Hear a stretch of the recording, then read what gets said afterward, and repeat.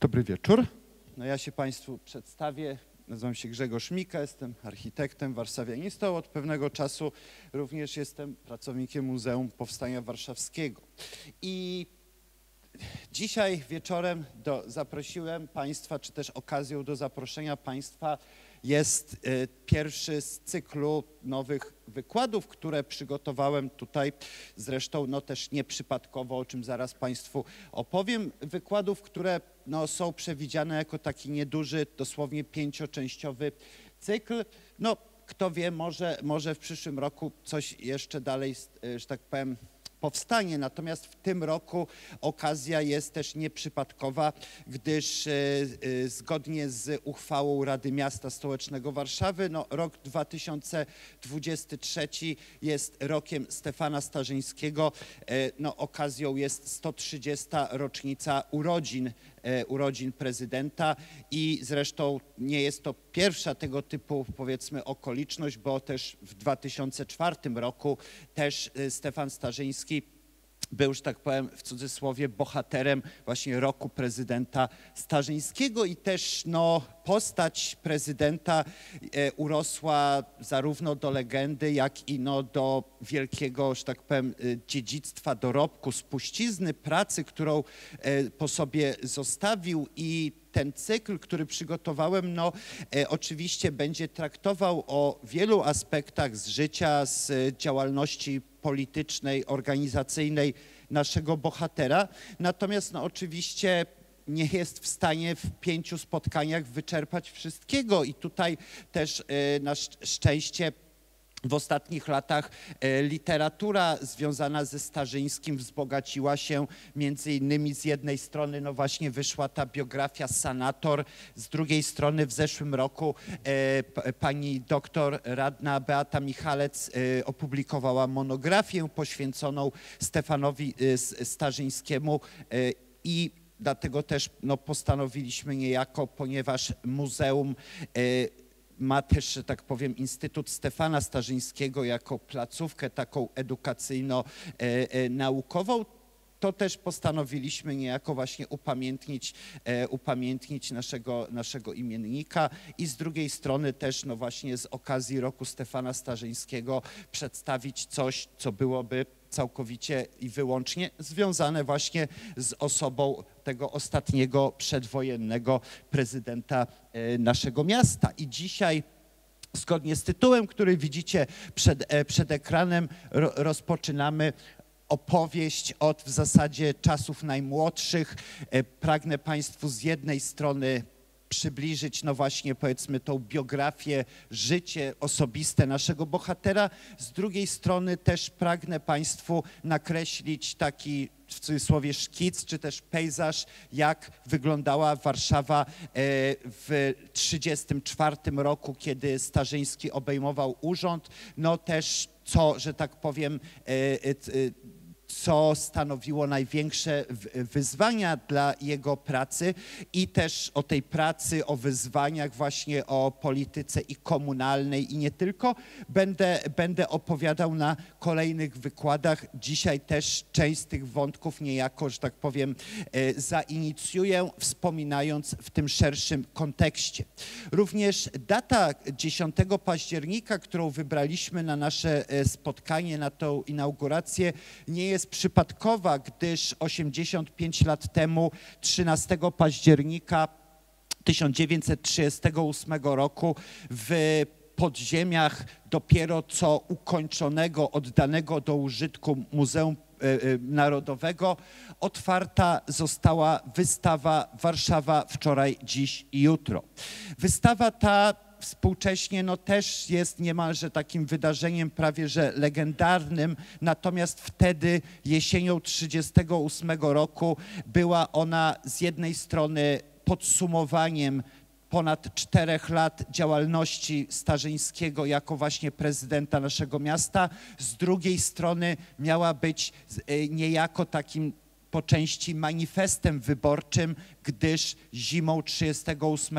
na 39 rok miały odbyć się pierwszy raz od iluś lat wybory samorządowe i Starzyński reprezentując prorządowy obóz Zjednoczenia Narodowego, no też, że tak powiem, wykorzystywał tą wystawę, można powiedzieć, w celach no, promocji polityki swojego obozu polityki e, ratusza, e, którym kierował. I wystawa ta została otwarta właśnie we wnętrzach Muzeum Narodowego, którego ukończenie było również jednym z dokonań właśnie Stefana Starzyńskiego, a jednocześnie budowa muzeum była niczym kamień u szyi poprzedniego magistratu, który od 27 roku bardzo, bardzo mozolnie realizował budowę, która została kilkukrotnie też przerwana i do połowy lat 30. budynek muzeum był ukończony, istniały tylko dwa skrajne skrzydła. To wszystko, co e, jest dzisiaj wejściem głównym, było nadal placem budowy i właśnie ukończenie Muzeum Narodowego było jednym z takich najbardziej namacalnych dokonań ekipy Starzyńskiego, zaś wystawa, która była prezentowana od jesieni, miała pokazywać właśnie, jak wiele zostało dokonane przez te trochę ponad cztery lata urzędowania naszego bohatera, zarówno pod kątem właśnie wielkiej planistyki, urbanistyki, projektowania całego miasta, jak i pod kątem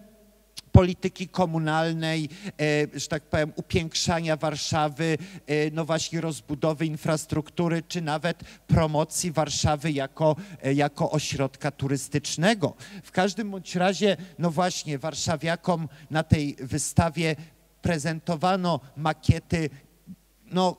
całego szeregu monumentalnych założeń urbanistycznych, które powstać miały dookoła śródmieścia Warszawy, które przeobrazić miały właśnie nasze miasto z takiej jeszcze że tak powiem, trochę prowincjonalnej e, stolicy niedużego państwa w nowoczesną, sprawnie zarządzaną, rozwijającą się właśnie aglomerację na miarę innych europejskich ośrodków. I tutaj to, co prezentowano na samej wystawie, to z jednej strony były właśnie makiety takich założeń jak dzielnica Piłsudskiego, jak właśnie e, e, jak dzielnica mieszkaniowa na Solcu. Z drugiej strony prezentowano też mnóstwo tablic, schematów, e, infografik dowodzących tego, że właśnie te cztery lata pracy Stefana Starzyńskiego są, można powiedzieć, najbardziej korzystnym okresem w rozwoju naszego miasta. No tutaj jak dowiecie się zresztą niedługo, też to powodzenie Starzyńskiego i, że tak powiem, swoboda w realizacji planów no, była oczywiście uzależniona od poparcia rządu, który miał również swój interes w tym, aby Starzyńskiego do Warszawy wprowadzić, o czym jeszcze zaraz opowiem. I ta wystawa jest też, no, można powiedzieć, bardzo przewrotnym, czy też bardzo specyficznym do, świadectwem historycznym, bo oto człowiek, który połowę życia był albo żołnierzem, albo urzędnikiem skarbowym, no, działaczem polityczno-społecznym, został postawiony na stanowisku prezydenta naszego miasta, co było umotywowane politycznie, natomiast przez cztery ponad lata swojej działalności. Starzyński no, stał się, że tak powiem, no właśnie mecenasem e, urbanistyki, architektury, dokonał wielkiej reorganizacji chociażby Wydziału Planowania Miasta, no, postawił bardzo znacząco też na politykę promocyjną, e, na upiększanie naszej Warszawy, nawet na właśnie propagandę wizualną, której przejawami też były liczne właśnie katalogi promocyjne i wystawowe, które były publikowane e, przy różnych, różnych okazjach. Natomiast no właśnie, ten żywot i kariera Stefana Starzyńskiego, zanim dotarł on do ratusza,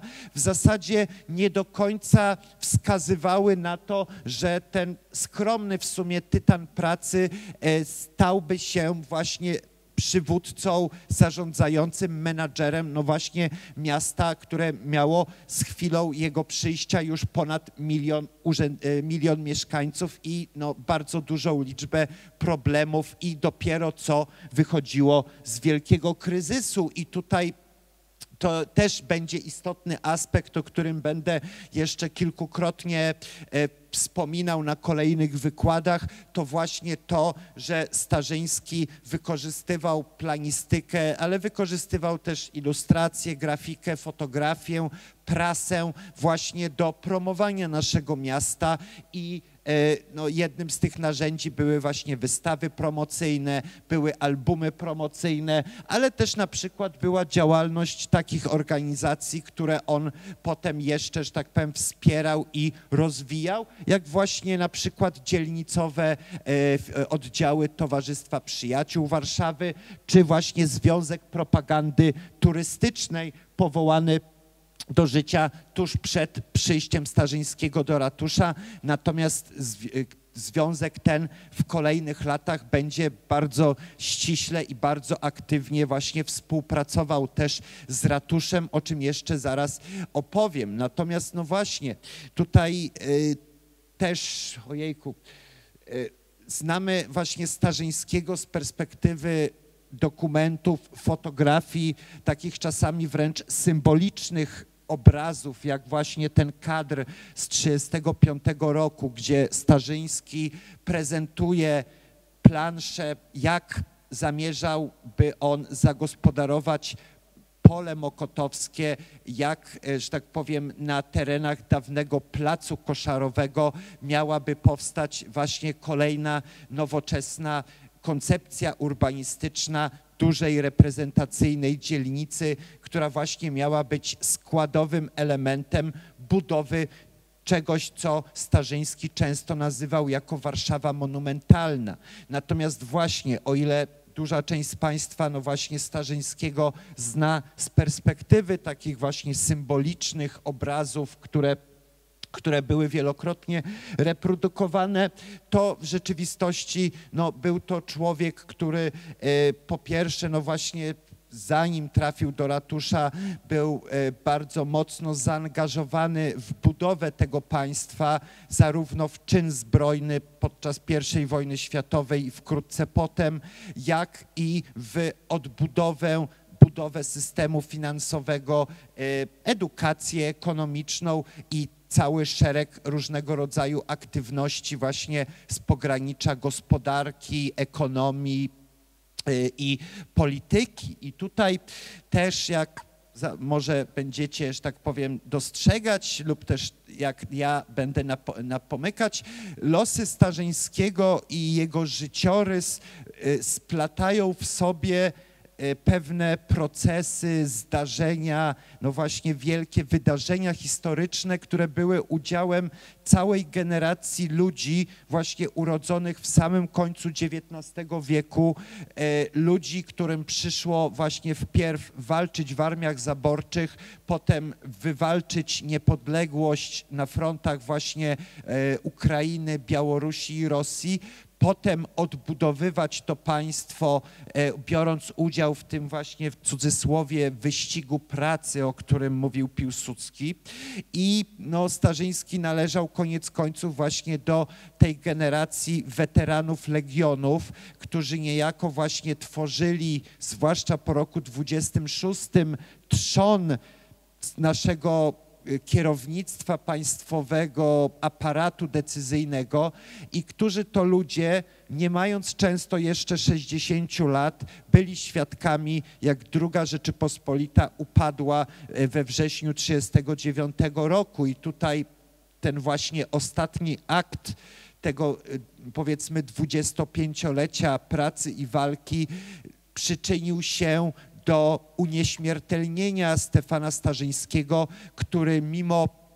otrzymanych rozkazów, które, czy też poleceń nakazujących ewakuację ratusza w kierunku wschodnim, postanowił zostać w Warszawie i przez kolejne trzy tygodnie e, oblężenia naszego miasta no, koordynował, e, podtrzymywał na duchu, no, dzielił smutki i znoje okupowanej, oblężonej Warszawy i tuż po kapitulacji naszego miasta, którą zresztą no, negocjował, dopóki tylko mógł, nadal brał udział właśnie w pracach ratusza w takiej, że tak powiem,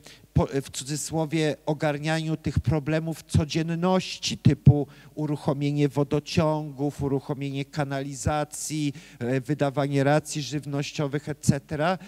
no, licząc też może na to, że ci nowi Niemcy, którzy przyszli w 1939 roku, będą choć w minimalnym stopniu na tyle e, kulturalni i dyplomatyczni, jak Niemcy, z którymi Starzyński miał do czynienia w 1917 roku, chociażby w, podczas kryzysu przysięgowego. No, oczywiście nic bardziej błędnego i no niestety nie, no dosłownie niespełna miesiąc po właśnie po kapitulacji naszego miasta gestapo przyjechało do Pałacu Jabłonowskich, aresztując, e, aresztując Starzyńskiego i w zasadzie od momentu jego aresztu tutaj jego losy do momentu śmierci przez wiele lat e, i nadal y, wywołują pewne kontrowersje, bo z jednej strony już kilkanaście lat temu śledztwo IPN, y, że tak powiem, i badania prowadzone prowadzone, że tak powiem, e, instytucjonalnie e, postawiły właśnie wniosek, że Starzyński został uśmiercony tuż przed gwiazdką 1939 roku. Natomiast na przykład właśnie znany badacz Warszawy lat okupacji Tomasz Szarota przedstawił też no, dosyć wiarygodnie udokumentowaną no właśnie tezę, że prezydent był przetrzymywany w obozach koncentracyjnych, że został, e, że został e, zgładzony dopiero e, w trakcie okupacji, prawdopodobnie w 1942 roku, prawdopodobnie chyba w, w obozie koncentracyjnym w Oranienburgu. Natomiast no, te, można powiedzieć, wojenne losy i hipotezy dotyczące no właśnie tego ostatniego etapu życia i pracy Starzyńskiego będę próbował jeszcze, no tak w cudzysłowie, że tak powiem, e, e, rozpracować na jednym z naszych kolejnych spotkań, gdyż, no jak mówię tutaj, że tak powiem, mgła wojny i okupacji też powoduje to, że no nawet po tylu latach, e, nawet właśnie wśród historyków nie ma jeszcze 101%, że tak powiem, konsensusu, no właśnie jak Niemcy postąpili z naszym prezydentem. Natomiast prawda jest taka, że e, w 1939 roku, gdyby Stefan Starzyński, że tak powiem, spojrzał tak refleksyjnie na swoją karierę i czas, który upłynął, to w zasadzie w 1914 roku, kiedy rozpoczynała się pierwsza wojna światowa i kiedy on przystępował e, do czynu zbrojnego, praktycznie nic nie wskazywało na to, że Starzyński będzie miał jakikolwiek większy związek z Warszawą jako miastem, z e, miastem jako, e, że tak powiem, produktem planistyki i polityki komunalnej, e, czy z miastem jako, można powiedzieć, właśnie e, ośrodkiem turystycznym, e, czy ośrodkiem przemysłowym. W zasadzie, no właśnie wszystko, czego dokonywał Starzyński przed 1934 rokiem, było bardzo, bardzo silnie związane prawie wyłącznie z ekonomią i z handlem i to widać nawet autentycznie od najmłodszych jego lat, o czym jeszcze zaraz Wam e, opowiem. Natomiast oczywiście przyjmuje się i jakby jest niezaprzeczalnym faktem, że Stefan Starzyński był synem Warszawy, gdyż urodził się na warszawskim Powiślu w sierpniu 1893 roku. Natomiast w rzeczywistości już po kilku miesiącach niemowlęcie wraz z rodzicami zostało no, przeprowadzone do Łowicza, gdzie e, właśnie z jednej strony jego głuchoniemy ojciec Alfons Karol Starzyński pracował jako rzemieślnik, trochę artysta, trochę nauczyciel rzemiosła, a jego matka Jadwiga Maria z Lipskich prowadziła tam pensjonat dla młodych dziewcząt. Z ówczesnej perspektywy podziału społecznego i tych dysproporcji starzyńscy w zasadzie plasowaliby się jako taka mniej więcej klasa średnia, współcześnie mierząc. On właśnie twórca, urzędnik, pracownik umysłowy, ona no właśnie nauczycielka prowadząca pensję, więc też pracownik umysłowy, pracownik naukowy. Natomiast wtedy Niestety, no właśnie takie niższe szarże urzędnicze e, były zazwyczaj no, słabo uposażone w tym carskim systemie. Jeżeli ktoś pracował dla e, jakichś polskich instytucji czy dla polskich przedsiębiorców, to oczywiście sytuacja była trochę lepsza, natomiast no, prawdopodobnie też właśnie to brak pracy e, zmusił Starzyńskich do tej wyprowadzki właśnie hen hen aż Dołowicza. Tam zresztą, e, tam zresztą mieszkali, e, mieszkali krewni, krewni bodajże matki, bo to drzewo genealogiczne tam było znacznie bardziej rozrośnięte. Jego rodzice mieli też rodzeństwo, jak to często wtedy bywało, i Starzyński rodzeństwo też posiadał. No i wedle wszelkich E, relacji źródłowych Starzyński przyszedł na świat pod, e, pod adresem Dobra 33. I prawda jest taka, że e, zdjęcie wykonane w końcu lat 30. niestety tylko nie pokazuje domów, które faktycznie miały tutaj adresy 33. I to jest tak, że tu już jest dom 35, natomiast dom, w którym urodził się Starzyński, wedle właśnie planów Lindleya z XIX wieku, stał dosłownie tutaj przy samym rogu ulicy Dobrej i Zajęczej, e, właśnie pod numerem 33 i że był to taki, e, z mapy wynika lichy, piętrowy, drewniany domek mieszkalny. Natomiast w jednym źródle dawno temu napotkałem się też na e, stwierdzenie, że urodził się na dobrej 43. W zasadzie prawdę powiedziawszy, estetycznie i lokalizacyjnie było to całkowicie bez różnicy, bo to dom tutaj, który nosi ten adres, jak widać też jest, że tak powiem, bardzo malutką kamieniczką e, czynszową, której prawdopodobnie towarzyszyła jakaś manufaktura. Niemniej jednak, no właśnie patrząc na dwa chociażby te domy stojące wzdłuż ulicy Dobrej, no nie sposób nie dostrzec, że zabudowa Powiśla e, w końcu XIX wieku, nawet bardziej, no była daleka od tego obrazu śródmieścia, które znajdowało się na Skarpie. W zasadzie Powiśle to była taka pierwsza prawdziwa dzielnica robotnicza naszej Warszawy, zanim przemysł się wyniósł na Wolę i na Pragę. A dlaczego? Bo wszelkie maszyny i turbiny parowe potrzebowały zasysać wodę z Wisły do chłodzenia i do napędu. Stąd też właśnie i zakłady przemysłowe, i ludność robotnicza lokalizowały się na terenie właśnie, e, który jeszcze w końcu XIX wieku bywał regularnie e, zalewany przez roztopy wiosenne naszej rzeki Wisły. W każdym bądź razie, no, żeby mieszkać na górze Skarpy, gdzieś przy krakowskim przedmieściu czy przy Marszałkowskiej, no, trzeba było być ewidentnie lepiej zarabiającą osobą, przedstawicielem jakichś wolnych zawodów typu prawnicy, lekarze,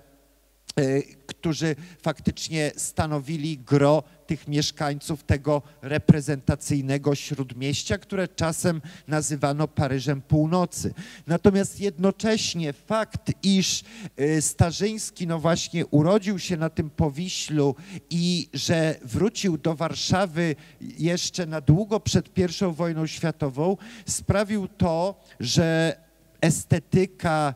higiena, warunki sanitarne, warunki życiowe tej dzielnicy i mieszkańców Powiśla zawsze pozostały bliskie jemu sercu i nieprzypadkowo właśnie na Powiślu, na Solcu, na Sielcach w latach 30. dokonywane były nierzadko znaczące inwestycje, takie jak właśnie uregulowanie części bulwarów nadwiślańskich, takie jak właśnie rozbiórka gazowni, brukowanie ulic czy budowa alei na Skarpie, y, które były często gęsto okraszone też takim hasłem Warszawa frontem do Wisły, co miało właśnie y, zwiastować sanację Powiśla jako dzielnicy, która mogłaby mieć potencjalnie, naj, że tak powiem, najbardziej reprezentacyjny charakter z bulwarami wzdłuż naszej rzeki, a która w latach dwudziestych i na początku lat trzydziestych niestety nadal e, przedstawiała bardzo, bardzo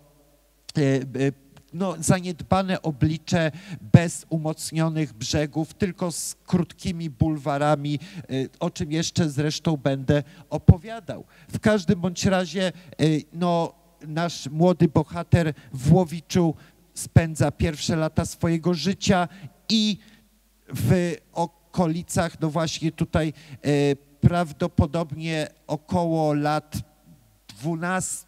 11 rozpoczyna naukę w siedmioklasowej szkole handlowej w e, polskiej, która była prowadzona w Łowiczu. Natomiast co ciekawe, mając raptem, jak widzicie, w 905 lat 12, podobnie jak wielu zarówno uczniów, jak i ogólnie młodych Polaków w tamtym okresie, wziął on udział w jednym ze strajków szkolnych, które były niejako akcją solidarnościową wobec rewolucji, e, którą PPS wszczął na e, ziemiach Królestwa Polskiego. I właśnie jednocześnie, żeby nie ryzykować represji za udział w tym, że tak powiem, antypaństwowym zgromadzeniu, Starzyński zostaje wysłany z powrotem do Warszawy i w 906 roku w Warszawie podejmuje naukę w prywatnym gimnazjum męskim Emiliana Konopczyńskiego, które było no, jedną właśnie z państwowych szkół, które byłyby dzisiaj odpowiednikiem liceum, no, musicie, e, musicie też wiedzieć, że dzisiejsze liceum, które nosi imię Konopczyńskiego, e, jest spadkobiercą tego gimnazjum, gdyż przed wojną nie było numerowanych państwowych liceów w dużej liczbie. Po wojnie prywatne licea, takie jak Zamojski na przykład, czy takie jak właśnie Konopczyński, zostały wtłoczone w ten system państwowy. Natomiast przed wojną było tak, przed pierwszą wojną światową, że te prywatne męskie i żeńskie gimnazja, które funkcjonowały na terenie Warszawy i innych miast w Polsce, były nierzadko ostoją właśnie takiej pracy edukacyjno-niepodległościowej. Wokół tych szkół e, powstawały grupy skautowskie, powstawały koła strzelca, koła orła, e, młodzi studenci, e, uczniowie zaczynali konspirować. No, oczywiście dokonywał się też kolportaż na przykład bibuły PPS-owskiej. No, generalnie prywatne polskie e, gimnazja ówczesne, no można powiedzieć, e, były z większym prowadzone pożytkiem dla Polaków niż rosyjskie szkoły powszechne, które miały wybitnie rusyfikacyjny e, charakter. Natomiast no właśnie, około 908 roku to zdjęcie zostało uchwycone, zaś sam nasz bohater kończy, to, kończy naukę u Konopczyńskiego, no właśnie latem, wiosną, latem 11 roku i od razu potem, jak widzicie na tym skanie, składa podanie o przyjęcie go na y, kursy handlowe na kursy handlowe prowadzone również w prywatnej szkole męskich kursów handlowych pana Zielińskiego, która była protoplastą przyszłej dzisiejszej szkoły głównej handlowej, z którą zresztą Starzyński będzie potem związany y, w latach 30. jako wykładowca y, równolegle z pracą prezydencką. Natomiast no właśnie, nasz bohater składa podanie, e, tutaj nawet skład, składając e, stwierdza, że świadectwo szkolne złoży we wrześniu, no, że ukończył właśnie e, szkołę, szkołę Konopczyńskiego i Michała Kreczmara, no i że właśnie rodzice mieszkają na co dzień w Łowiczu i że on też tam był zameldowany. I już po trzech latach bohater nasz szkołę kończy. Były to kursy sześciosemestralne i zauważcie, no e, oceny, system ocen był czterostopniowy od dwójki do piątki i prawdę powiedziawszy Starzyński, który miał tutaj bardzo różne przedmioty, cztery języki, e, pisanie w przepraszam, trzy języki obce, cztery języki w piśmiennictwie, organizacja handlu, geografia ekonomiczna, ekonomia polityczna, prawa cywilne, historia handlu, y, stenografia, y, buchalteria. No generalnie przedmioty no jak najbardziej przysposabiające do właśnie pracy handlowca, kupca, yy, skarbowca. No trudno by powiedzieć, że byłoby to jakkolwiek wskazujące na pracę w administracji czy w samorządzie. Natomiast no, prawda jest też taka, że w 911 roku, kiedy daleko było jeszcze od wielkiego konfliktu europejskiego i jeszcze dalej było od wizji jakiejś prawdziwej niepodległości, to w tym okresie te właśnie prywatne kursy handlowe, naukowe, one za, zastępowały studia, natomiast jednocześnie istotą było to, że w Warszawie i w innych miastach no właśnie funkcjonowały takie szkoły fachowe, na przykład, y, na przykład była też y, szkoła Towarzystwa Kupieckiego przy ulicy Waliców, y, albo na przykład jejku, tutaj jeszcze taka, e, taka znana placówka, żeby wam e, nie skłamać. A, Szkoła Wawelberga i Rotwanda na Mokotowskiej, która była, zastępowała wyższą uczelnię techniczną. Tam, tam zdobywano pierwsze szlify inżynierów budowniczych i architektów. No właśnie bez konieczności wyjeżdżania na studia za granicę do Petersburga, czy też gdzieś e, do Austro-Węgier, czy też Niemiec. Natomiast no właśnie w czerwcu 14 roku dosłownie w przededniu kaskady wydarzeń, które zapoczątkują I wojnę światową, nasz bohater uzyskuje ten dyplom z tymi właśnie e, handlowymi przedmiotami. I zauważcie też, że prawie wszystkie jego oceny to były truje, a piątek dosłownie z polskiego miał tylko e, piątkę, a tak to to same trójki i czwórki, e, więc można powiedzieć, że jak widzicie, nie trzeba być geniuszem, żeby, że tak powiem, e, dokonać potem czynów wielkich. E, w każdym razie możemy wnioskować, że Starzyński swoją przyszłość dostrzegał gdzieś, pracując właśnie w jakichś przedsiębiorstwach handlowych jako kupiec, może jako przemysłowiec. Bo w tamtym czasie też w Królestwie Polskim faktycznie przemysł i handel, również ten w polskich rękach się znajdujący, no rozwijał się bardzo, bardzo dynamicznie. I co ciekawe,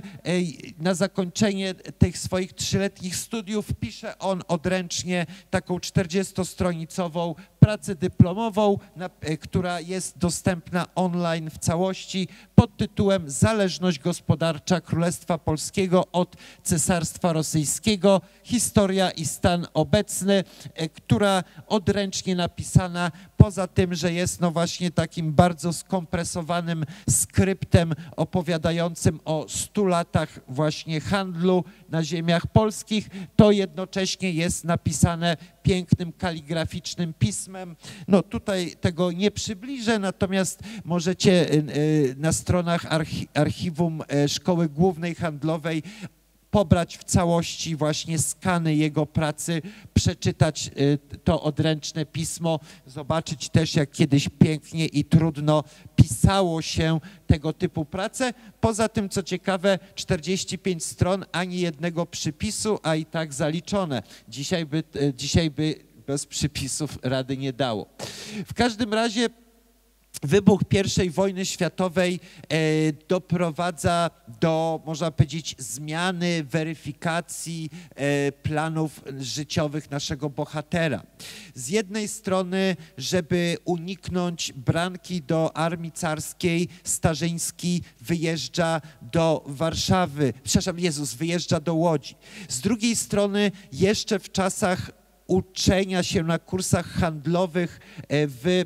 w tym towarzystwie Zielińskiego wstąpił, zaczął, że tak powiem, współpracować z ZMPN, Związkiem Młodzieży Postępowo-Niepodległościowej, która była, e, które, który to związek był po prostu jedną z kilku e, organizacji zrzeszających właśnie studentów, gimnazjalistów, która prowadziła taką właśnie pracę niepodległościowo-edukacyjną i kolportaż, oczywiście też bibuły, etc. I w, będąc w tymże i starając się, że tak powiem, zarobić na utrzymanie, Starzyński prowadzi korepetycję i jedną z jego korepetytantek zostaje Józefa Zaza Wrublewska, młodsza od niego uczennica, niestety daty urodzenia nie znalazłem, która no właśnie też należała do tych samych kręgów konspiracyjnych, no i Znajomość przeradza się w uczucie, uczucie w miłość, narzeczeństwo i ślub zawarty w 1914 roku, e, o ile się nie mylę, właśnie w Łodzi. Natomiast niestety była to, można powiedzieć, historia serca złamanego, bo już niecałe trzy lata później Zaza e, poznała e, nowego, nowego, no, nowego, że tak powiem, amanta, dla którego zostawiła Starzyńskiego. W tej chwili nazwiska nie pomnę, ale jej dalszy los jest niezwykle symptomatyczny, bo e, pani Zaza i jej nowy mąż byli, e, byli z przekonań komunistami i w 1933 roku na wezwanie Kominternu, czyli Międzynarodówki Komunistycznej, Wróblewska wraz z mężem pojechali do Moskwy, gdzie zostali aresztowani, oskarżeni o szpiegostwo. Mąż został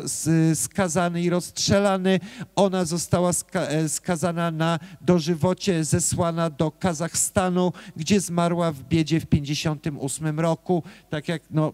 tysiące Polaków, których ten los spotkał kilka lat później. Natomiast no właśnie losy polskich komunistów w drugiej połowie lat 30. też nie były za ciekawe i też ten los spotkał bardzo wielu weteranów ruchu niepodległościowego, e, PPS, organizacji bojowej, e, no, chociażby takie osoby jak Adolf Warski, którzy, e, którzy równie mocnie co socjalizmem, że tak powiem, zajmowali się robotą niepodległościową i no właśnie w kręgach pracy podziemnej u progu I wojny światowej e, PPS był jedną z takich najbardziej wpływowych organizacji, natomiast potem z biegiem I wojny światowej i po jej zakończeniu też pewne, że tak powiem, zmiany społeczno-polityczne powodowały to, że tym najbardziej radykalnym programem charakteryzowała się partia komunistyczna i e, dlatego też niektórzy socjaliści, co bardziej radykalni, potem podążali za wytycznymi partii komunistycznej, nawet jeżeli prowadziło to do Moskwy na tak zwane konsultacje Kominternu na Łubiance. Natomiast też los, dalszy los Starzyńskiego jednak związał go z wojskiem polskim, gdyż już tak naprawdę pod koniec 14 roku Starzyński zaciąga się do pierwszej brygady legionów,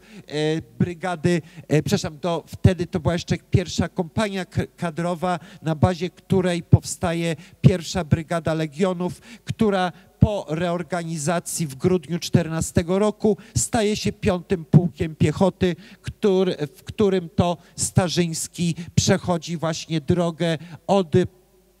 w zasadzie chorążego aż do kapitana e, i tutaj widzimy akurat na zdjęciu jeszcze chyba w mundurze chorążego. Natomiast, e, natomiast też dalszy los naszego bohatera znowuż był bardzo, e, że tak powiem, związany z tym, jakie były losy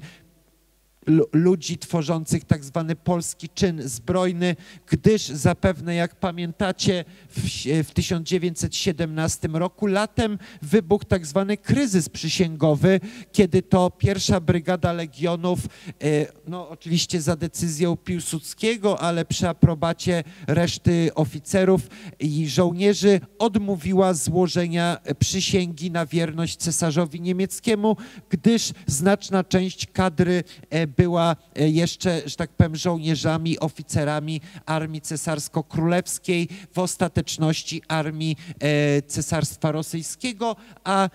w roku 17 Królestwo Polskie było pod okupacją i administracją właśnie Cesarstwa Niemiec, stąd też Niemcy chcieli Polaków wcielić do swoich sił. Polacy lekceważyli niemieckie rozkazy, niemiecki też, że tak powiem, łańcuch dowodzenia i to wszystko spowodowało właśnie internowanie, e, no grup, to była grupa łącznie niespełna dwóch tysięcy oficerów, podoficerów i szeregowych. Część wylądowała właśnie w, obiozie, w, w obozie w Szczypiornie, część wylądowała w Beniaminowie pod Zegrzem, gdzie jeszcze zachowały się ruiny tego fortu gdzie ten obóz internowania został, e, że tak powiem, e, stworzony. Natomiast istotnym jest to, że droga przez legiony, e, doświadczenia właśnie chociażby internowania, czy przedtem udział chociażby w walkach nad Kostiuchnówką na dalekiej Ukrainie, no były kuźnią charakterów, życiorysów i kontaktów towarzyskich i przyjacielskich i, i, przy, i można powiedzieć służbowych, które miały wręcz decydujący wpływ i bardzo duże znaczenie w kolejnych latach dwudziestych i trzydziestych, gdy byli koledzy oficerowie e, podwładni czy też przełożeni, robili różne kariery, odchodzili na różne stanowiska, czy też pamiętali właśnie o swoich kolegach, powołując byłych właśnie towarzyszy broni na stanowiska kierownicze, czasami z dobrym, pozytywnym skutkiem, czasami niestety umacniając selekcję negatywną. Natomiast no właśnie fakt, że na przykład jednym z oficerów, e, który był oficerem razem ze Starzyńskim, był Stanisław Skwarczyński, przyszły twórca właśnie obozu Zjednoczenia Narodowego, gdzie Starzyński będzie e, też członkiem, czy na przykład dowódcami byli generałowie Burkhard Bukacki, czy na przykład generał Berbecki, którzy też potem w latach 20. i 30. będą znaczącymi postaciami. Zresztą drogę Legionów przeszło też, jak widzicie, dwóch jego braci, Stefan, e, przepraszam, Roman, który e, zmarł w 1938 roku i Mieczysław, zamordowany właśnie przez hitlerowców e, również w Oranienburgu w 1941 roku. Natomiast też, co jest istotnym, że właśnie bardzo często kontakty i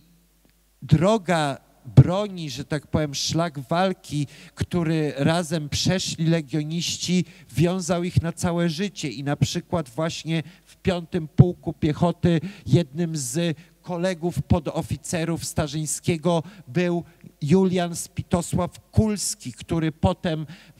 po 1934 roku będzie jednym z e, wiceprezydentów naszego miasta, który jednocześnie e, najpierw będzie właśnie pracował ze Starzyńskim, a potem w czasie okupacji będzie pełnił obowiązki takiego tymczasowego komisarycznego e, prezydenta miasta, choć no, była to już ranga symboliczna. Niemniej jednak obaj panowie właśnie spotkali się w szeregach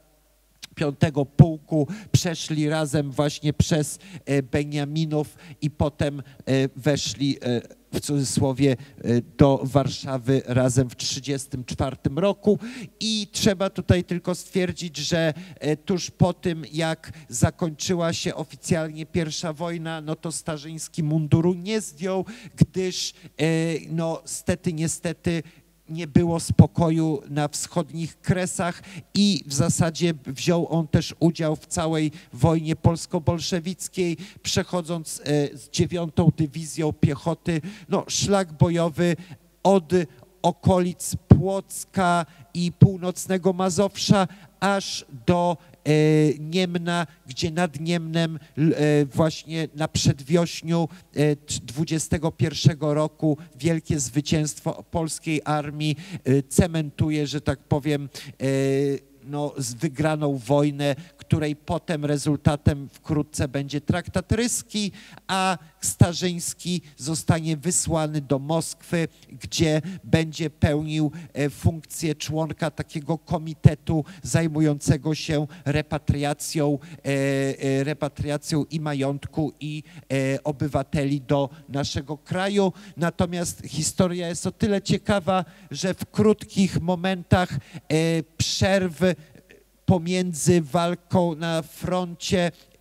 Starzyński poznaje przyszłą żonę numer dwa, panią Paulinę z Chrzanowskich-Tylicką. I sytuacja była o tyle skomplikowana, że Starzyński nie dostał kościelnego rozwodu do kościelnego ślubu, który miał zawarty z Zazą, więc musiał zmienić wyznanie i dokonał tego, słuchajcie, w kościele ewangelickim w Moskwie, gdzie akurat przebywał właśnie jako członek tejże komisji. I państwo, młodzi państwo wzięli ślub 27 lipca w sytuacji, gdy, jak widzicie na liście biletowym wtedy opublikowanym, sam nasz bohater mieszkał nadal w Moskwie na Bolszoj Kozłowski Prospekt, a nasza bohaterka, panna młoda, przy pięknej 22, mieszkania 20. Niestety kamienica ta współcześnie nie istnieje. Do Warszawy Stefan Starzyński powrócił dopiero w 24 roku i zresztą pobyt w Rosji Sowieckiej opisał w dwóch książkach, jak wygląda Rosja sowiecka, które zresztą też e, współcześnie są już dostępne online. Natomiast po roku 24 był on związany generalnie z, można powiedzieć, szeroko rozumianymi instytucjami państwa. I tutaj yy, miało to miejsce również niezależnie od tego doniosłego wydarzenia, jakim był przewrót majowy. Jak zapewne pamiętacie, no do momentu przewrotu majowego ta sytuacja polityczna była, można powiedzieć, bardzo chaotyczna, gdyż było bardzo duże rozdrobnienie partyjne. E, dopiero w 25 roku udało się opanować kryzys ekonomiczny. No, oczywiście problemem było bardzo duże zacofanie prowincji i też zniszczenia wojenne. I stąd też no, właśnie jedną z myśli przewodnich, która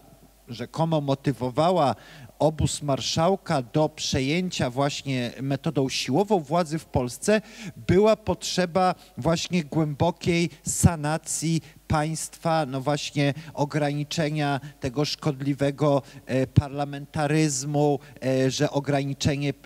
no, partyjniactwa, no właśnie reforma samorządowa, reforma gospodarcza i generalnie główny argument obozu Piłsudskiego był taki, że no, do tego momentu posady i stanowiska były obsadzane wedle klucza partyjnego, a że teraz jakby, no po pierwsze, że musi powołać, musi powstać solidny rząd reform, no, że rząd musi, że tak powiem, oczywiście realizować linię i wizję marszałka Piłsudskiego i że rząd ten powinien składać się właśnie z wiernych, lojalnych, no ludzi podwładnych, żołnierzy, którzy będą dosłownie no, realizować myśl marszałka niczym rozkazy i polecenia, co zresztą stety niestety było typowe dla wielu przedstawicieli właśnie obozu tego powiedzmy postlegionowego, czyli właśnie taka bezgraniczna wiara właśnie w zmysł i wolę marszałka Piłsudskiego, co powodowało, że właśnie potem po roku 26 osoby takie jak na przykład generał Roman Górecki były delegowane na kolejne w cudzysłowie odcinki pracy i generał Górecki był za, zarówno założycielem i pierwszym prezesem Banku Gospodarstwa Krajowego, jak również założycielem wojskowego, e, e, znaczy budowniczym stadionu Wojska Polskiego e, przy ulicy Łazienkowskiej i właśnie bo był przez chwilę też właśnie y, prezesem Legii bodajże. I no, takich postaci e, w całym obozie piłsudczykowskim było sporo. Dość wspomnieć o poprzedniku Starzyńskiego na, sta na stanowisku prezydenta Marianie Zyndramie Kościołkowskim, o którym jeszcze zaraz opowiem. Natomiast y, Starzyński, który w 26 roku no, był majorem w stanie spoczynku, y, no, niejako w przejęciu władzy dostrzegał szansę właśnie na przeprowadzenie e, radykalnych zmian państwowych, które do tej pory były niemożliwe poprzez, z powodu skłóconego parlamentu. I wyraz swoich właśnie poglądów gospodarczych i tez e, dał na łamach kolejnej właśnie publikacji broszury, którą też można współcześnie przeczytać w całości online, mianowicie programu rządu pracy w Polsce, wydanego właśnie zresztą w drugiej połowie 26 roku i, e, przepraszam, w kwietniu 26 roku, która Zresztą potem no, była też oczywiście reprodukowana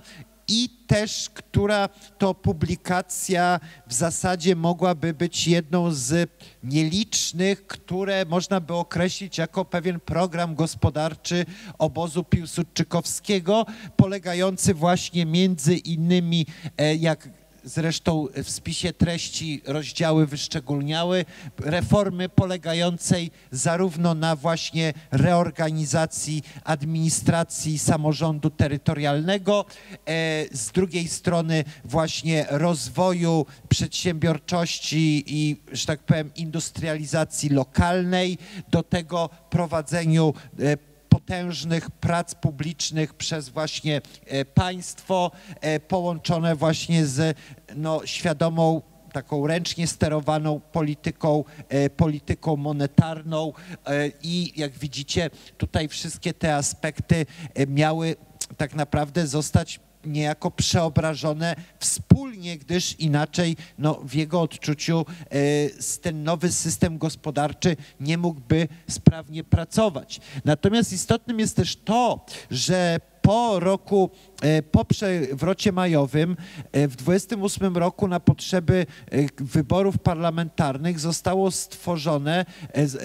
nowe koło polityczne, bez, tak zwany bezpartyjny blok wspierania rządu, który miał być takim właśnie, że tak powiem, politycznym bytem wspierającym w parlamencie rządy Kazimierza Bartla i ogólnie obóz piłsudczykowski.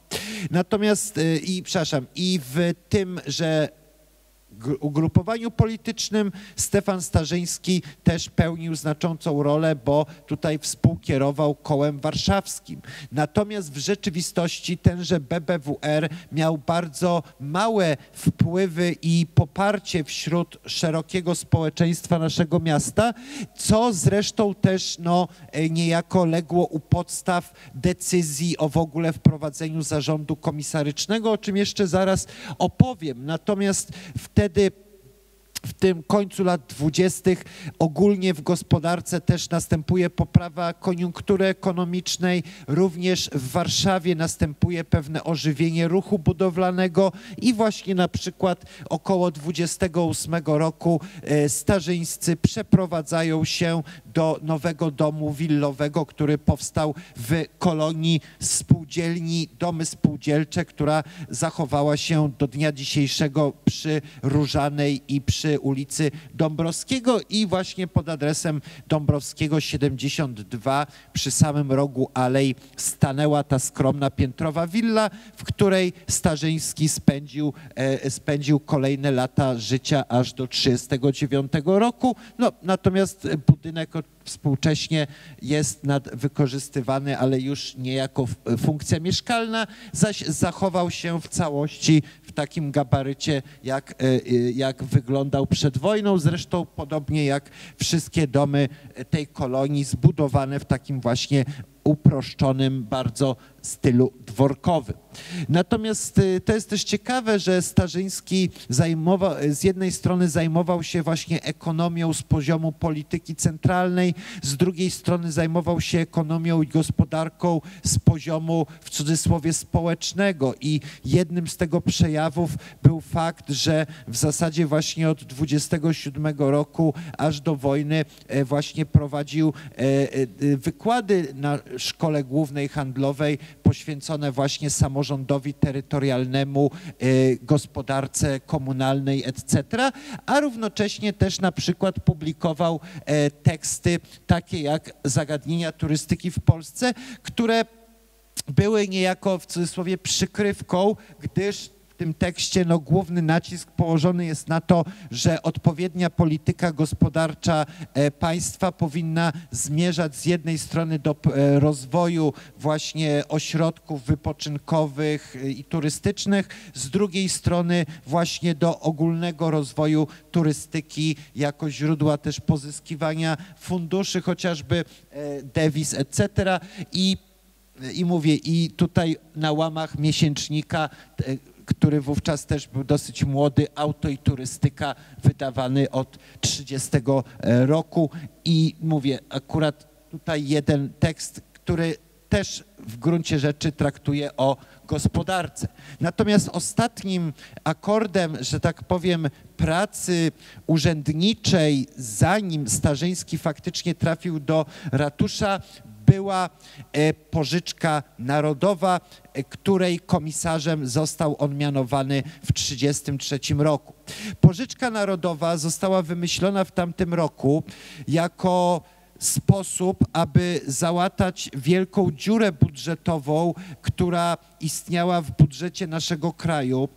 i tutaj no, ja nie jestem historykiem ekonomii, natomiast generalnie na, też na skutek wybuchu y, kryzysu ekonomicznego na świecie również państwo polskie niestety popadło w recesję. E, z jednej strony rosło, y, rosło bezrobocie, z drugiej strony w ramach cięć budżetowych administracja państwowa miała obniżane płace, a na przykład e, Bank Polski wyprzedał też część swoich rezerw walutowych i jesienią 33 roku, przepraszam, latem 33 roku nadal z, e, brakowało kwoty około 120 milionów ówczesnych złotych, co, by, co stanowiło e, no, kilkanaście procent całego budżetu i mimo wszelkich właśnie cięć, oszczędności, etc., no tych ponad 100 milionów brakowało. I w kołach politycznych rządu wymyślono koncepcję, aby rozpisać wzorem roku 1920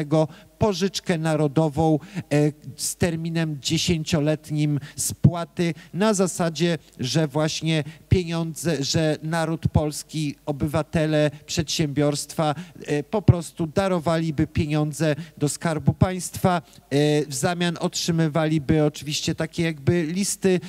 wierzycielskie i potem za 10 lat państwo miało, tudzież magistrat miał wypłacić, że tak powiem, po,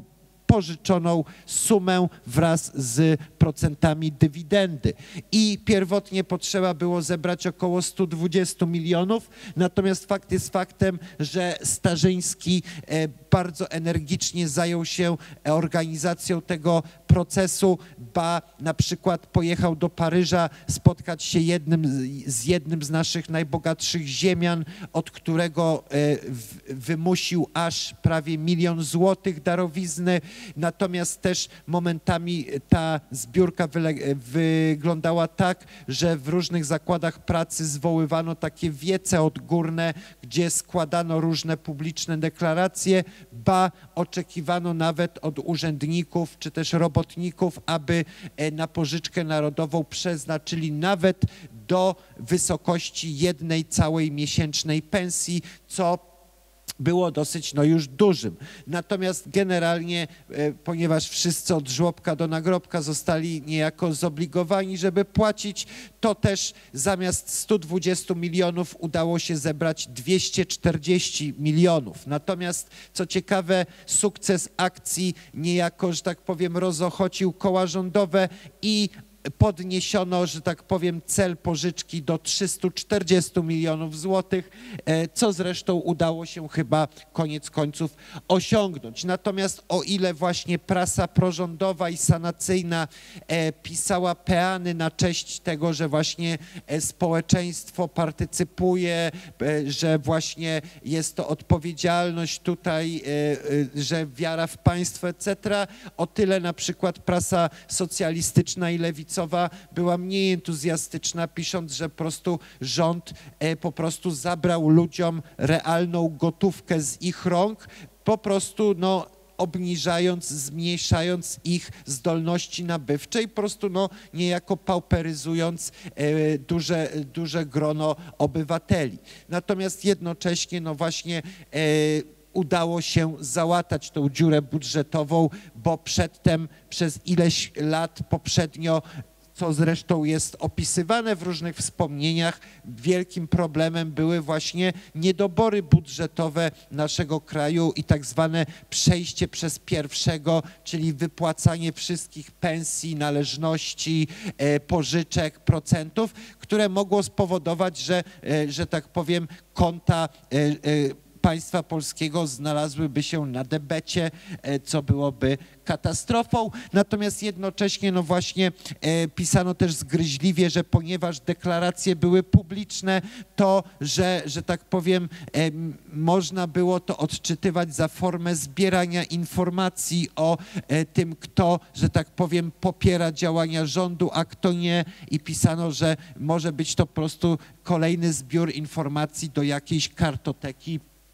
urzędowej, żeby patrzeć właśnie, kto z jakim entuzjazmem popiera działania rządu, natomiast jednocześnie też prasa e, była narzędziem propagowania całej tej akcji. Były liczne artykuły, gdzie właśnie były relacje, jak na przykład tutaj ten fragment, ta, że tak powiem, ćwierć szpalty mówiące o tym, że Stefan Starzyński przyjechał na Zamek Królewski, aby uroczyście odebrać deklarację od e,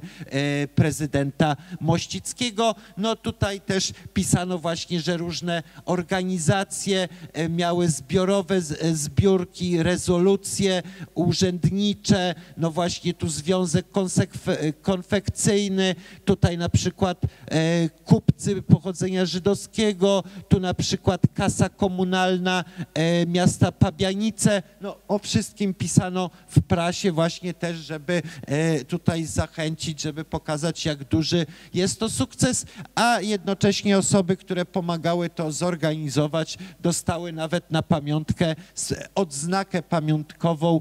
pożyczki narodowej ustanowioną, e, ustanowioną w 1934 roku. Natomiast no właśnie w czerwcu 1933 roku Starzyński wraca do Ministerstwa Skarbu, gdzie był dyrektorem departamentu nie na długo, gdyż już w lipcu 1934 roku zostaje wysłany na odcinek warszawski, aby objąć urząd tymczasowego prezydenta Warszawy, zastępując komisarza e, przez cztery miesiące Zyndrama Kościołkowskiego, który to zastąpił na tym miejscu ostatniego prezydenta wybranego w wyborach Zygmunta Słomińskiego, reprezentującego obóz Narodowej Demokracji, architekta, inżyniera, pochodzącego zresztą z Piotrkowa Trybunalskiego, który e, przedtem był też na przykład wiceprezydentem Radomia i do Warszawy trafił dopiero po wyborach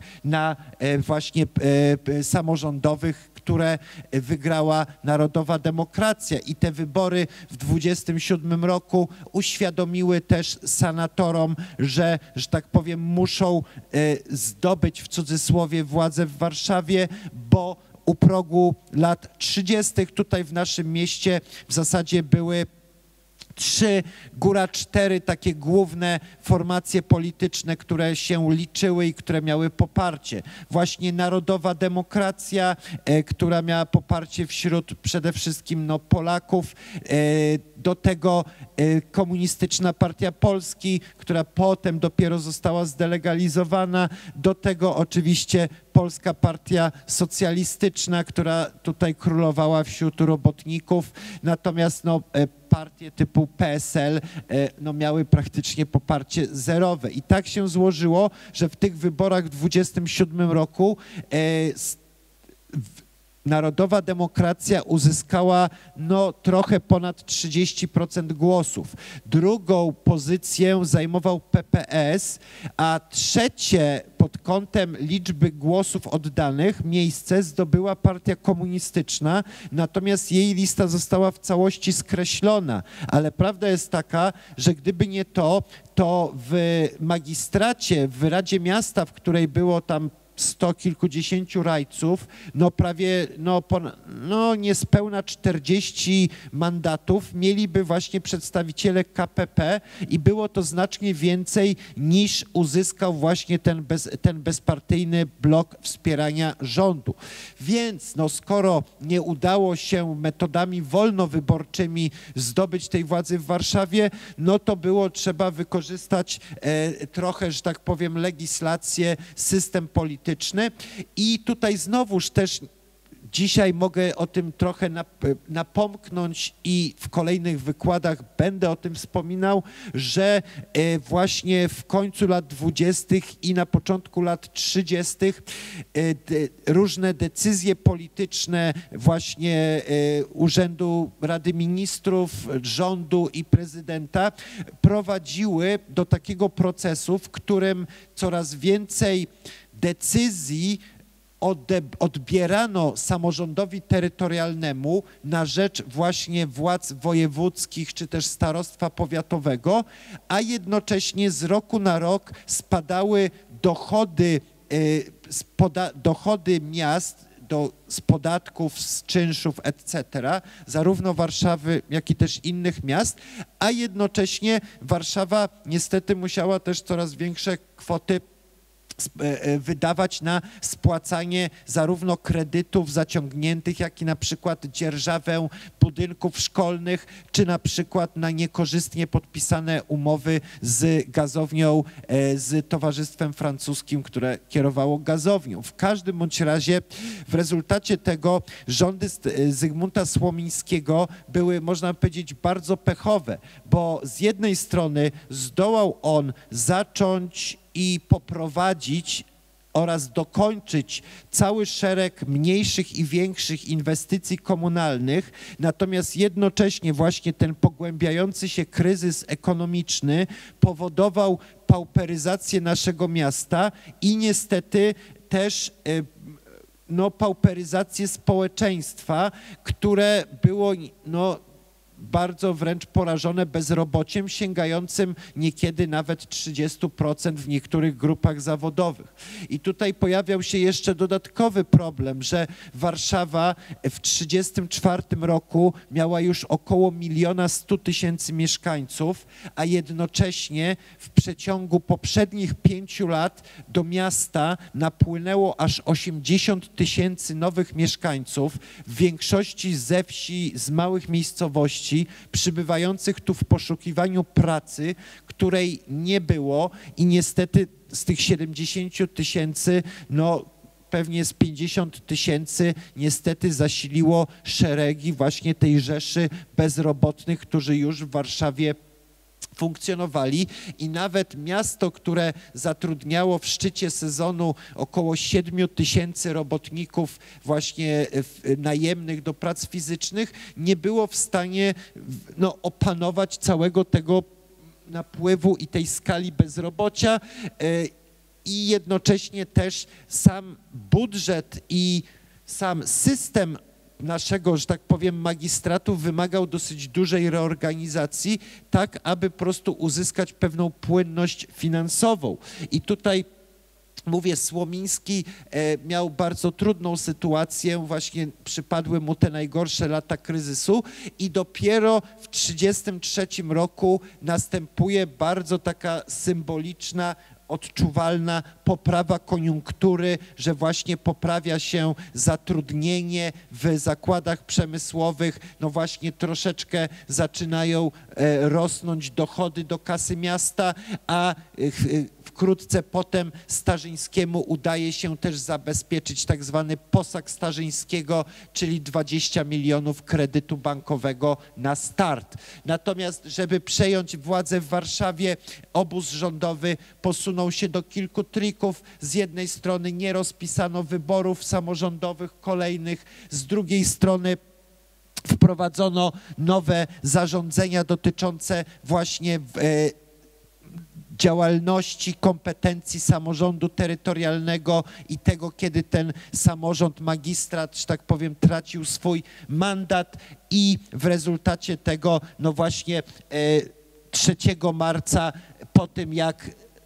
Rada Ministrów wprowadziła swoje zarządzenie, powołany został ten e, komisarz, prezydent Marian Zyndram Kościałkowski, urodzony w 892 roku, również właśnie żołnierz Legionów, wierny Piłsudczyk, który e, przedtem też pełnił funkcję e, jako dygnitarz po odejściu z Warszawy przez kolejne dwa lata był przedostatnim premierem rządu, a od 1936 do wojny pełnił funkcję ministra opieki społecznej i można powiedzieć, że był człowiekiem autentycznie z wnętrza samego systemu, e, właśnie wierny marszałkowi, wierny potem Rydzowi Śmigłemu, e, przez 17 lat obecny w parlamencie, e, od w zasadzie pierwszej kadencji, no właśnie przerzucany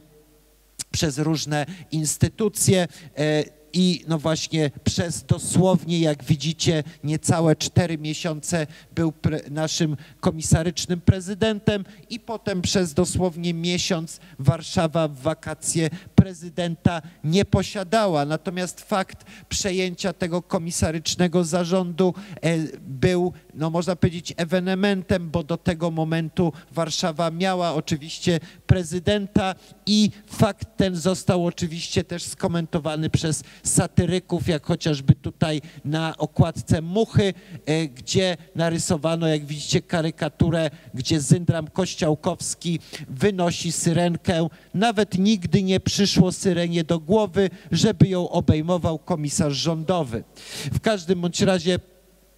E, e, czasopismo Mucha jeszcze przy e, paru okazjach powróci, gdyż na jego łamach no, publikowane były różne,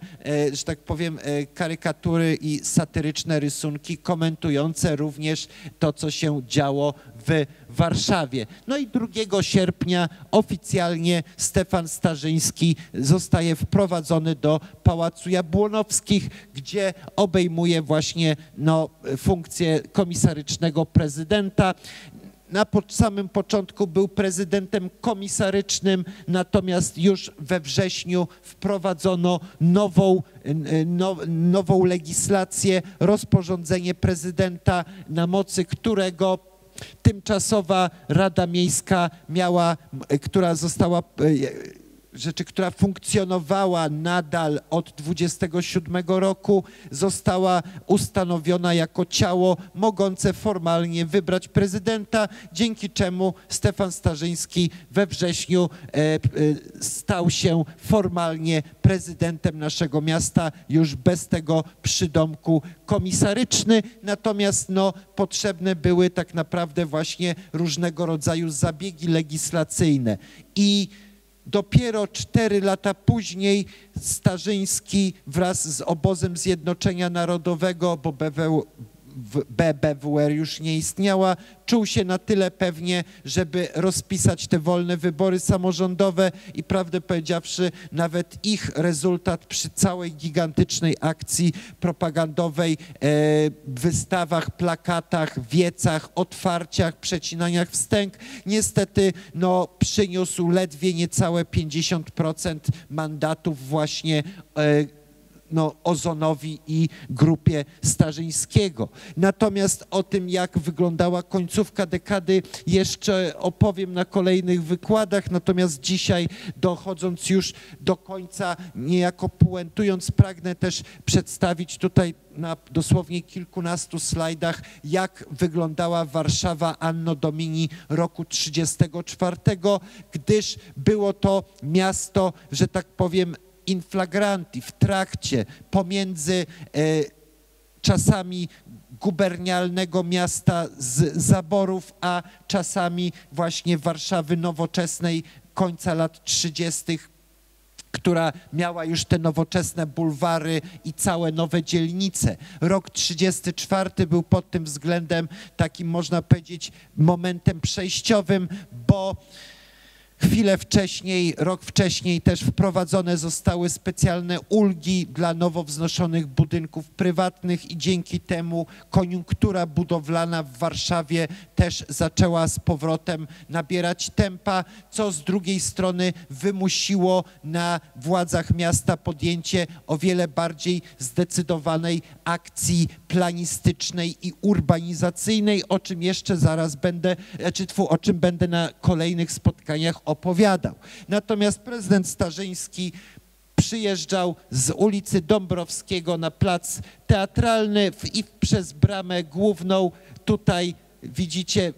stawał w bramie jego samochód i po schodach wchodził tutaj do głównego holu na pierwszym piętrze, gdzie od strony frontowej znajdował się jego gabinet z balkonikiem, z widokiem na y, zaniedbany wówczas Teatr Wielki. I niejako w spuściźnie po y, Zyndramie Kościołkowskim Starzyński odziedziczył Jana Pochowskiego, który też był inżynierem, architektem i który potem wiernie do ostatnich dni y, kampanii wrześniowej również pełnił funkcję wiceprezydenta naszego miasta. Natomiast już sam ratusz mógłby być doskonałą metaforą ówczesnej Warszawy, bo od frontu ratusz to był reprezentacyjny budynek klasycznego Pałacu Jabłonowskich, natomiast od, że tak powiem, od podwórka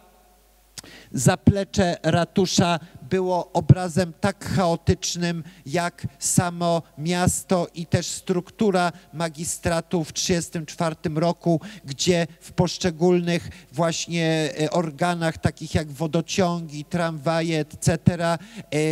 no,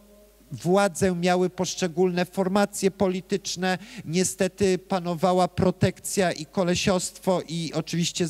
załatwianie posad. Poza tym też były bardzo źle e, e, rozpisywane umowy emerytalne, gdzie przyznawano wręcz gigantyczne emerytury e, emerytowanym dyrektorom, etc. No generalnie pod kątem zarówno finansów, jak i organizacji, jak i pod kątem estetyczno urbanistycznym ratusz miał długą drogę przed sobą. I to zdjęcie sądzę, że doskonale tą metaforę odzwierciedla, bo przedstawia ono przedwojenny kwartał magistracki, czyli właśnie Pałac Jabłonowskich z Pałacem Blanka oraz zespół dziewięciu różnych budynków, które tutaj stały od strony Daniłowiczowskiej, które były siedzibą kolejnych agent ratusza i którym tutaj pod numerem 3 na Daniłowiczowskiej towarzyszył jeszcze budynek are centralnego aresztu śledczego. I w tamtym momencie zarówno Pałac Jabłonowskich, Pałac Blanka, jak i, e, jak i Teatr Wielki były od wielu lat zaniedbane. E, no, wymagały remontu i to też można powiedzieć, że była doskonała metafora no właśnie sytuacji całego magistratu naszego miasta i tak właśnie już na koniec pokazując, że miasto Warszawa w roku 1934 było miastem w zasadzie dwóch czy nawet trzech światów. Z jednej strony mieliśmy reprezentacyjne śródmieście północne i południowe, które faktycznie można było nazywać Paryżem Północy na przestrzeni dosłownie kilkunastu kwartałów kwadratowych właśnie pomiędzy Ogrodem Saskim a Placem Unii Lubelskiej. Natomiast jednocześnie nawet w tym ścisłym centrum Warszawa prezentowała kontrasty sięgające wizualnie do XIX wieku. Takie kontrasty jak na przykład powszechna wręcz obecność parterowych, piętrowych domków murowanych z początku XIX wieku, czy na przykład domów drewnianych, które nawet w samym Śródmieściu były jeszcze wtedy spotykane, a które Starzyński będzie systematycznie rozbierać. Natomiast problem polegał na tym, że w zasadzie od drugiej połowy XIX wieku do roku 1928 budownictwo czynszowe z coraz, że tak powiem, cieśniejszą zabudową stanowiło podstawową formę urbanizacji naszego miasta i najpierw od 882 do roku 904 wszystkie kamienice nie mogły być na przykład szersze niż ulica, przy której stały. Natomiast e, w ostatnim dziesięcioleciu przed I wojną światową następuje proces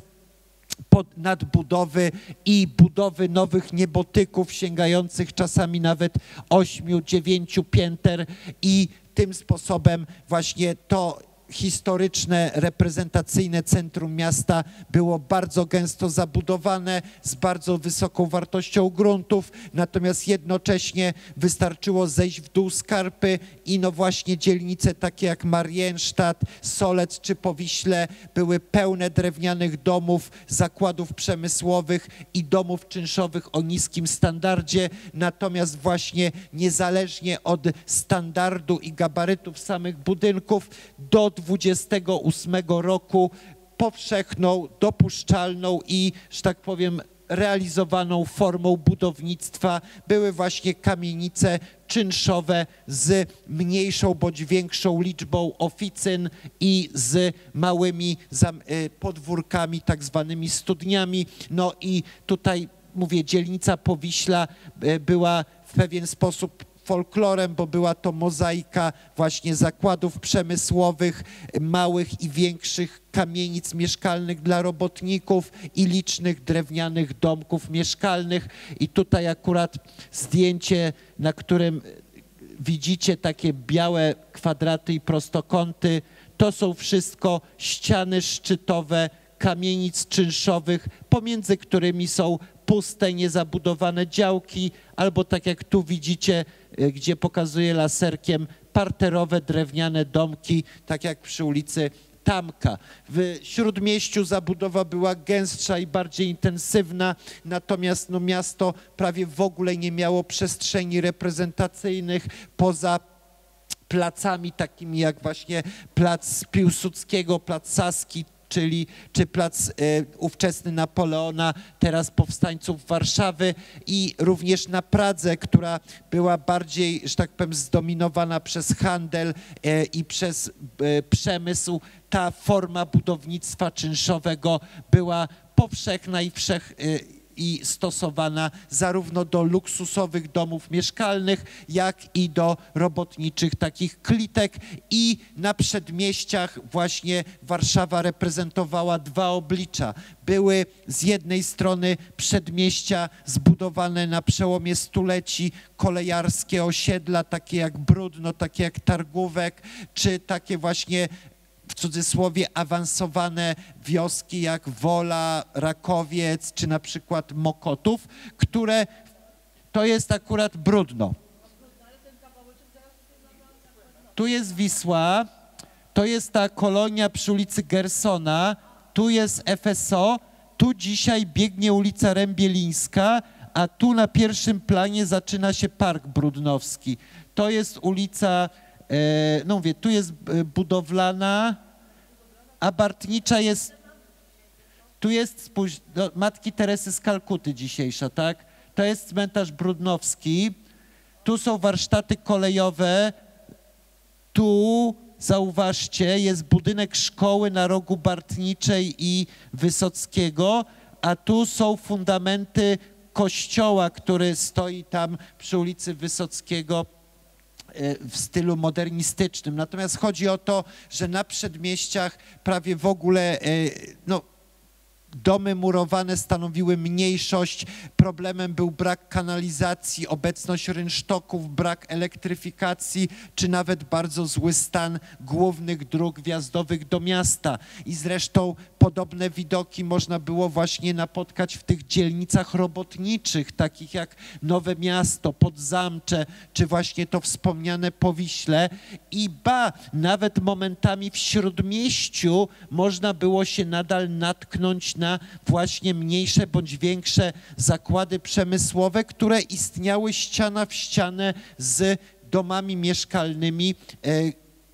wypełniającymi całe kwartały zabudowy. I tak jak wspomniałem, Wisła, która powinna być tym reprezentacyjnym frontem, w latach 30. wczesnych na odcinku od Poniatoszczaka do, do portu Czerniakowskiego, jak widzicie, miała na pół zdziczały brzeg, wzdłuż którego były przystanie i prywatne jachtkluby oraz zakłady przemysłowe, czy na przykład warsztaty żeglugi parowej i stocznia rzeczna. I właśnie też jednym z zadań Starzyńskiego będzie również przebudowanie właśnie wybrzeża Wisły na Powiślu, budowa nowych bulwarów, czy na przykład rozbiórka domów stojących, zasłaniających skarpę, jak chociażby ta wielka kamienica, która stała dosłownie pod cokołem Muzeum Wojska Polskiego, e, tam gdzie dzisiaj jest park z tą, z oczkiem wodnym, e, z, z tym z źródełkiem, budowany w latach 50. i tam sobie biegnie alejka równolegle do Skarpy, to ta alejka przed wojną miała nazwę Dolnej Smolnej i tam, gdzie właśnie jest teraz Muzeum e, Wojska Polskiego, od strony Skarpy stała taka wielgachna kamienica z pierwszej połowy XIX wieku i jeszcze rozbudowywana. Traugut się ukrywał w tej kamienicy, ale w oficynie, podwórku, ale w tej tylko jak miała jeszcze jedno piętro zamiast trzech. Natomiast, y, natomiast no mówię, takie widoki jak te rudery na woli były nadal czymś bardzo częstym gdziekolwiek poza Śródmieściem i większy problem był taki, że spis powszechny w roku 1931 ujawnił, że właśnie z około miliona mieszkańców naszego miasta co trzeci mieszkaniec mieszka w lokalu bez bieżącej wody albo bez elektryczności, albo bez kanalizacji i co ciekawe nie była to ta sama jedna trzecia. To znaczy, że problem upośledzenia sanitarnego e, miasta dotyczył no można powiedzieć, że nawet połowy ówczesnych warszawiaków, kilkuset tysięcy ludzi, zwłaszcza właśnie na tych terenach, które zostały przyłączone w roku 916, na tych dalekich przedmieściach typu właśnie Wola, Koło, Targówek, Brudno, które do tamtego momentu były całkowicie poza Warszawą i dopiero od roku 916 były w ogóle objęte planowaniem jako pewien organizm miejski. I też planowanie jest dyscypliną, która e, celuje w wieloletniej realizacji, natomiast jest ona też uzależniona od możliwości finansowych. I o ile właśnie w latach dwudziestych powstały plany takich nowych dzielnic jak właśnie Ochota, Żoliborz, Bielany czy Saska Kępa i powstały plany zabudowy całego nawet miasta, to w rzeczywistości Warszawa miała bardzo kiepską sytuację gruntową, miała bardzo mały budżet inwestycyjny i dodatkowo większość terenów ją otaczających, gdzie rysowano te wszystkie alejki, bulwary, te wszystkie tutaj e, kreseczki, które widzicie pomarańczowo, były de facto lokalizowane na terenach, które należały albo do Skarbu Państwa, albo do właścicieli prywatnych. Natomiast no właśnie, że tak powiem, w perspektywie wieloletniej nadzieją miasta było to, że właśnie część z tych gruntów zostanie przekazana, tak jak dawne grunty y, wojskowe właśnie na Bielanach, na Żoliborzu czy na Ochocie, gdzie powstały nowe dzielnice mieszkalne, czy na Saskiej Kępie, gdzie na terenach dawnego rozlewiska Wisły zaczęto budować reprezentacyjną dzielnicę willową. I ja teraz też nie, nie chcę, nie będę wymieniać tych wszystkich przykładów, wszystkich osiedli, bo i na różnych innych wykładach o tym wspominałem. Natomiast podstawowy problem był taki, że Państwo polskie było za słabe, żeby dawać bezpośrednie do, dofinansowania dla wszystkich inwestycji i programów budowlanych. Istniał fundusz budowlany przeznaczony dla poszczególnych wnioskujących spółdzielni. Dlatego państwo starało się wprowadzać różne ulgi, różne nowe legislacje, które miały niejako podbudowywać inicjatywę prywatną. Natomiast z drugiej strony Warszawa choć powiedzmy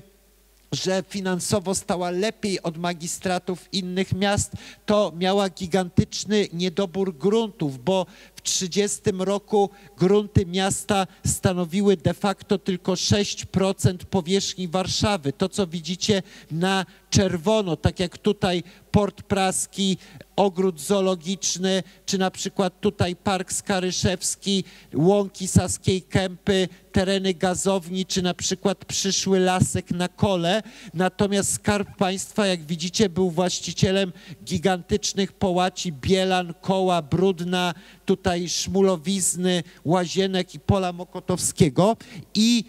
realizacja prawidłowej polityki miejskiej będzie od Starzyńskiego wymagała właśnie pozyskiwania gruntów, na których będą musiały zostać opracowane nowe plany zabudowy, a jednocześnie od 28 roku było nowe prawo budowlane, które zabraniało budowy ciasnych kamienic i jednocześnie jeszcze koniec lat dwudziestych był to okres, kiedy rozwijała się żywy, żywiołowo awangarda architektoniczna w Polsce i jednym z pierwszych przejawów jej działalności była spółdzielczość mieszkaniowa. I takie kolonie jak właśnie chociażby WSM na Żoliborzu, które powstawały niezależnie niejako od magistratu, a które, e, że tak powiem, załatwiały te problemy, których magistrat nie był w stanie podjąć, jak na przykład realizacja tanich mieszkań dla robotników. I tutaj znowuż dopiero od końca roku 1930 państwo polskie zarówno na etapie, znaczy zarówno na poziomie tych władz centralnych, jak i na poziomie władz poszczególnych miast w ogóle podejmie teren, temat klęski mieszkaniowej i braku właśnie tanich osiedli robotniczych i Starzyński po 1934 roku tej tematyce właśnie budowy nowych e, tanich osiedli i tworzenia nowoczesnych planów zabudowy po, poświęci bardzo, bardzo duży fragment swojej działalności, zwłaszcza e, w sytuacji, gdy od 1931 roku był uchwalony nowoczesny plan zabudowania Warszawy, do którego, e, w którym pojawiała się na przykład koncepcja Alei na Skarpie, tak jak tu widzicie, czy też zagospodarowania całego pola mokotowskiego. Natomiast, no właśnie, na podstawie tego wielkiego planu tworzono plany szczegółowe dla fragmentów dzielnic, ale niestety nie dla wszystkich, bo budżet Wydziału Planowania był niewystarczający i dodatkowo też niedobory kasy miejskiej powodowały to, że miasto poza opracowywaniem planów na papierze niestety prowadziło bardzo, bardzo skromną akcję urbanizacyjną, czyli budowę ulic, y, stawianie latarni, kanalizację, etc., gdyż po prostu z jednej strony miasto nie miało środków, z drugiej strony w okresie wielkiego kryzysu te wszystkie spółdzielnie mieszkaniowe też miały dosyć trudną sytuację i wiele z nich upadło. Natomiast kryzys też spowodował, że Słomiński musiał nawet wstrzymać kilka inwestycji, które miały być tanimi i przeznaczonymi dla właśnie tych szerszych warstw społecznych, jak na przykład osiedle przy Alei Wojska Polskiego na Żoliborzu, które miało być przeznaczone właśnie dla urzędników, między innymi magistratu, gdzie z 16 budynków zdołano zbudować tylko cztery, a w ich miejscu powstała kolonia baraków dla bezrobotnych wzniesiona w 1932 roku. Natomiast, no właśnie, tak jak wspomniałem, Słomiński był inżynierem, znał się na planistyce, natomiast z jednej strony trafił na bardzo kiepską sytuację ekonomiczną, z drugiej strony tak zwany klimat polityczny był bardzo niekorzystny i właśnie obóz sanacyjny dążąc do wydarcia władzy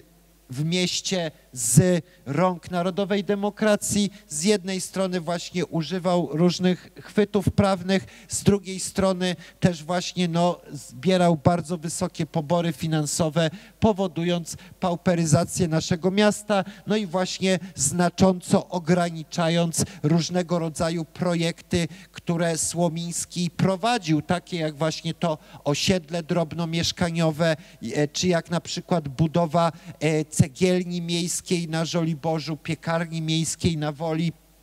Wszystkie te projekty zostały troszeczkę niestety okrojone i też kolejną taką kulą u nogi, która będzie spuścizną e, zrzuconą na Starzyńskiego, będzie też niedobór gmachów szkolnych na terenie całego miasta, na przedmieściach, jak i w centrum, z którym również e, Starzyński stoczy zwycięską walkę. Natomiast no właśnie obejmując swój urząd, Starzyński zastał całkowicie rozgrzebaną i wstrzymaną budowę Muzeum Narodowego, gdzie były ukończone jedynie te dwa skrzydła boczne, z których to dalsze było użytkowane przez Muzeum Wojska Polskiego e, i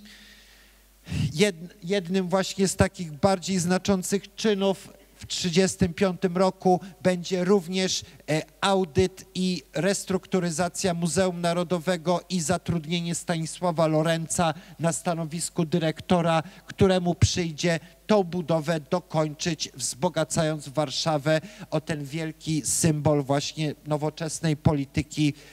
kulturowej i historycznej. I z mojej strony dzisiaj jest to już wszystko. Widzę, że właśnie godzinę 40 udało nam się zmieścić, co z czego bardzo się cieszę. Natomiast no, ja zapraszam Państwa oczywiście na nasze cztery kolejne spotkania za dwa tygodnie, raz w listopadzie i dwa razy w grudniu, również tutaj w gmachu muzeum na tej sali gdzie będę kontynuował naszą opowieść o Starzyńskim, traktując właśnie zarówno o problemach zarządzania miastem, planowania miasta, jakości życia, czy promocji Warszawy przez różne, e, różne że tak powiem, nośniki prasę, nie tylko co Starzyński czynił z bardzo dużym powodzeniem. Natomiast też jeżeli znacie osoby, które dzisiaj nie mogły dotrzeć, możecie przekazać, że planujemy retransmisję tego wykładu za kilka dni online, zostanie opublikowane. E, oczywiście będzie o tym informacja e, w, y, w mediach społecznościowych. Natomiast ja oczywiście zachęcam do przychodzenia na żywo i z mojej strony jest to już wszystko. Ja się Państwu kłaniam, dziękuję i dobrej nocy.